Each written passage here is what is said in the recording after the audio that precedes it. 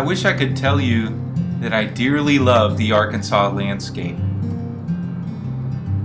Truth is, it's not that unique.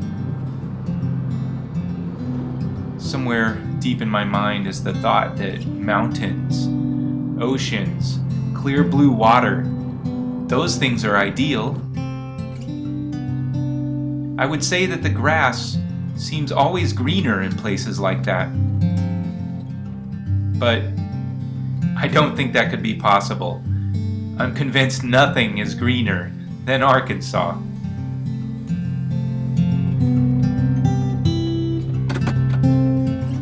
Something in me has changed in the last couple of years.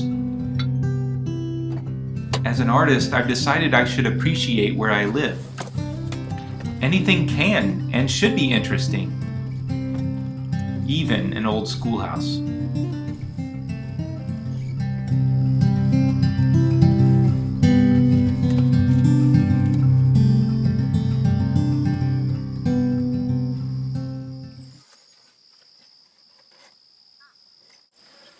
Forgot my brushes.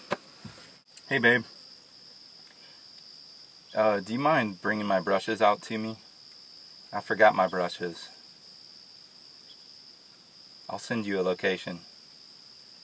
Okay. Alright. Okay, bye.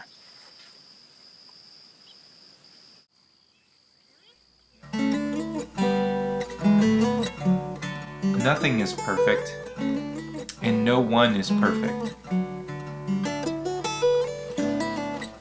Charles Hawthorne, founder of the Cape Cod School of Art in the early 1900s, said of artists, and I quote, One of the greatest things in the world is to train ourselves to see beauty in the commonplace.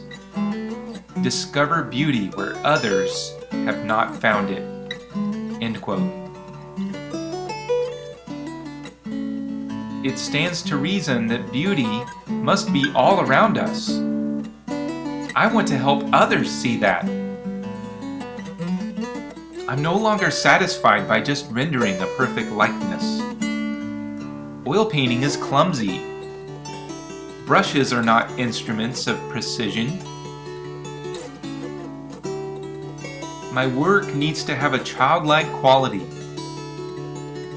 It needs to reflect my faith in a God that takes care of my needs, a God that gifts us and has joy watching what we do with those gifts.